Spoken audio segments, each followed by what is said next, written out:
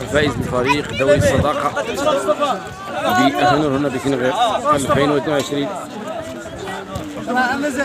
في المقابلة النهائية فاز فريق تمونت على فريق الدكلة تمونت يعني الوحدة أو الاتحاد.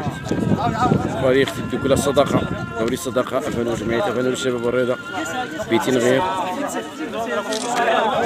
احد الاحياء تنغير على بعد بين كيلومتر من مركز المدينة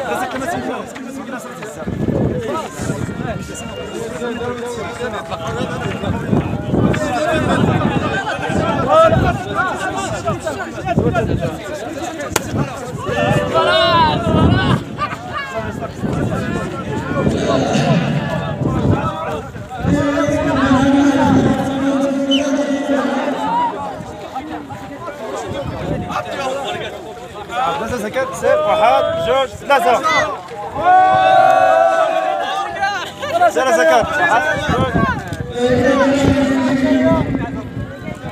C'est bon, j'ai.